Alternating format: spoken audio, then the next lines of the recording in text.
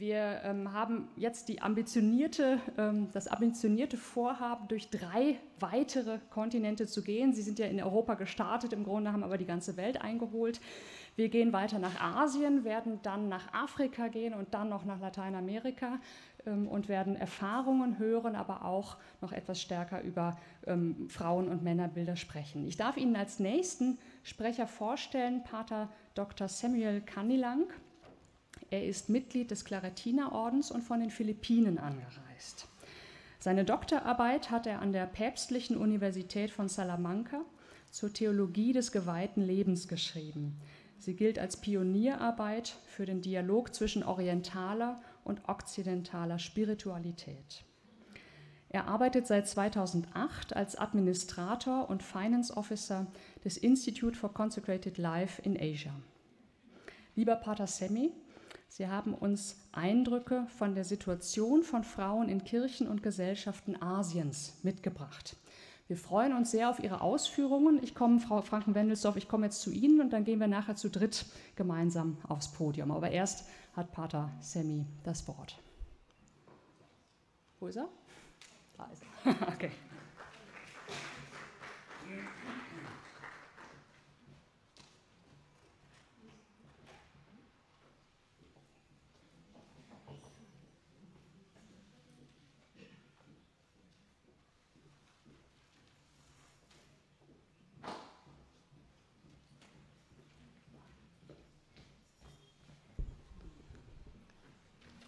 Good morning. My contribution to our conversation will come mainly from my experience of journeying with Catholic women religious. I will begin by sharing with you certain experiences of women in ministry in Asia, which reflect their general situation in their local churches and in their respective societies, and how they creatively and courageously respond to ecclesial and social needs and challenges. The lives and ministries of women religious in Asia are conditioned by, first, the prevailing clerical hierarchical way of being church. Second, Christianity's being a religious minority in the continent. And third, the totalitarian or dictatorial oppressive forms of government in various Asian countries. Women religious in the Philippines are involved practically in all areas of life, health, education, family life, livelihood, Christian formation, human rights, safeguarding of children and vulnerable adults, promotion of justice, peace, and integrity of creation, and so on. Within the Philippine church, however, women religious feel treated like second-class citizens and source of cheap labor. They also experience avoidance and even rejection by the clergy. A common experience, especially among teaching congregations, is the unilateral and unjust taking away of their ages-long administration of diocesan and parish schools by bishops, usually upon the influence of jealous priests. It is in India where many religious congregations have numerically large communities. Indian women religious are major agents of pastoral and social services. A recent event in which they played a key role illustrates their social commitment and pastoral courage. In June this year, Sister Nirmalini Nazareth, president of the Conference of Religious in India, called on India's more than 130,000 Catholic religious women and men to join public protest against the increasing persecution of minorities under the country's pro-Hindu Bharatiya Janata Party government. In her letter to religious, she said, we can no longer remain ensconced in our comfort zones. our silence and our fear to play a prophetic role makes us complicit in the many crimes of today. Explaining the ongoing violence against Christians and other minorities in India, she referred to the ongoing targeted violence in Manipur, northeast India, on Christians and tribal people, the continued attacks on church personnel and institutions across the nation, the migration of Muslims, mainstreaming of hate speech, and the plight of protesting women wrestlers. In response to her call, some 300 religious sisters gathered on a public road in Bangalore on June 5, holding placards declaring solidarity with a group of female wrestlers who accuse their politically powerful federation chief of sexually abusing them. Women religious in India, however, have also become victims of abuse of authority, abuse of conscience, and sexual abuse in the church. When the communists took over the government of Vietnam, they confiscated the properties of the church, including religious convents, schools, hospitals, orphanages, and lands. The church and state relations have progressively improved since the Vatican initiated a process of dialogue with the Vietnamese government. Until now, however, the church is allowed a very minimal participation in the country's social life and human development programs and services. For example, religious are only allowed to run kindergarten schools. Vietnam is a male dominated society where women are expected to be at the service of men. Similarly, the Vietnamese church is remarkably hierarchical clerical.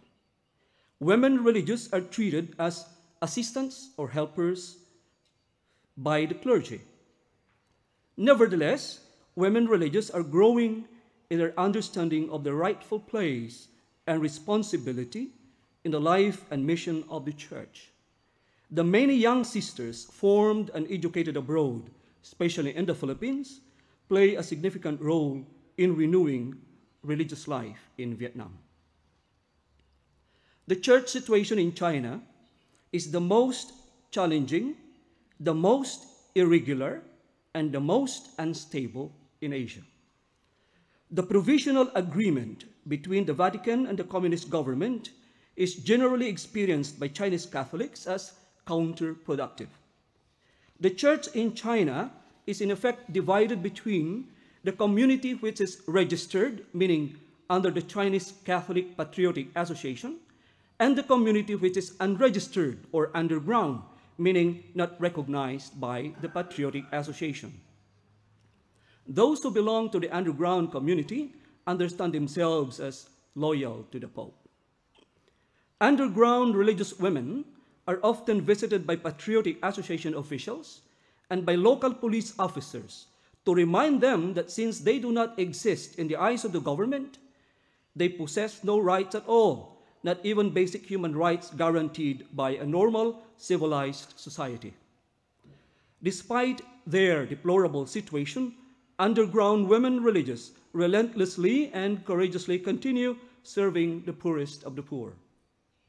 Like the abandoned elderly people in remote villages and mentally challenged people who are at the same time suffering physical illnesses. Myanmar is under a communist dictatorial oppressive regime. Myanmar, despite the presence of courageous women leaders like Aung San Suu Kyi, is still a male dominated society. The local church is largely hierarchical clerical. Religious sisters, especially those belonging to dioceses, are considered helpers of the diocesan clergy.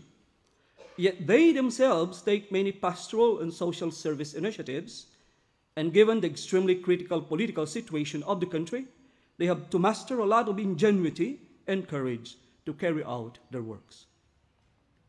A picture that went viral in the social media of a lone religious sister defiantly facing heavily armed police and soldiers, pleading them not to hurt the civilian protesters, illustrates the faith and courage of Myanmar women religious.